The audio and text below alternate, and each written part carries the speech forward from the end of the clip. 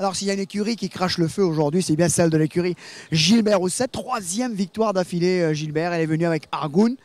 Euh, encore une superbe arrivée. Vos deux chevaux euh, qui sont là, c'est magnifique. Oui, les chevaux rentrent en forme. C'est-à-dire qu'avec trois semaines de- d'entraînement en plus, c'est clair qu'il y a des changements.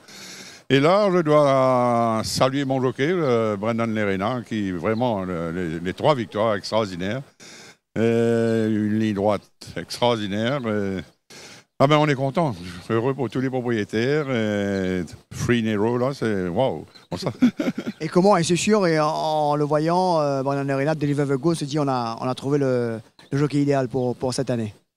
Je dois dire que c'est pour le moment le jockey idéal. Il a c'est qu'un caractère. Il est facile à travailler. Euh, peut-être sa femme est arrivée, m'a dit les enfants, alors peut-être que c'est un joli cadeau pour la famille.